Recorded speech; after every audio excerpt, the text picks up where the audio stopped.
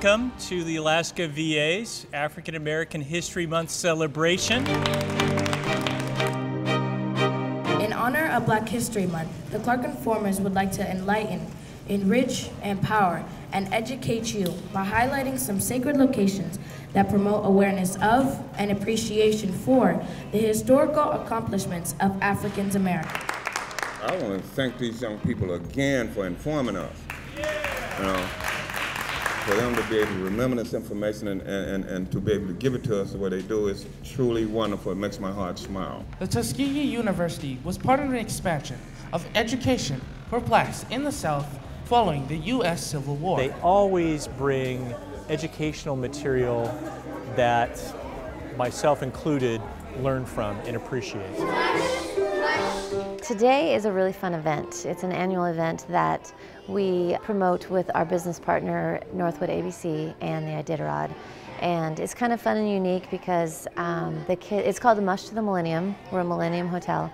And the kids from Northwood ABC are the dogs and pull local celebrities on the sleds and mush over to the Millennium. And then they sing Alaska songs like the Alaska Flag song, North to Alaska.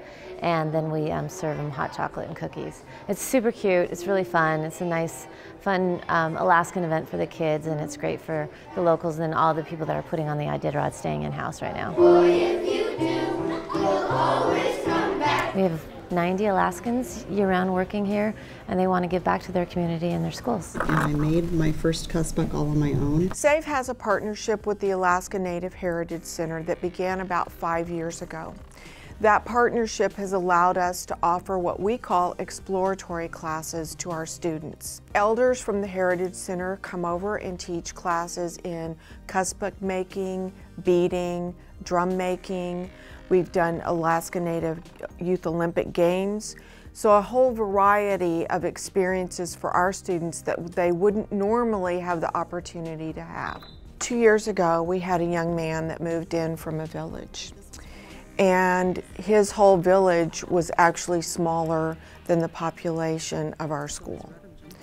And he had started out in one of our large Big 8 high schools and really struggled with the size of the building. And he came into school here and was very, very quiet, um, almost invisibly quiet. And he came into the first exploratory session and sat in the far corner of the room all by himself. And it happened to be the session where we were doing drumming. And by the end, he was sitting in between the two elders with his drum, drumming with them. And he, from that point on, he made his ratings. He was successful. He actually started taking after school classes in art, the arts at the Heritage Center because of the relationships he started here and graduated from high school. And I'm truly not sure.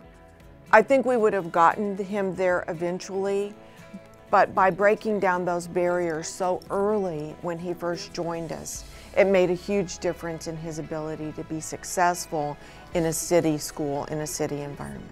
It's important for all companies in Anchorage to be involved in some way or at some level with their community. It shows our students that the community cares about them and that people that they don't even know want to see them be successful in school. For me, it's all about relationships.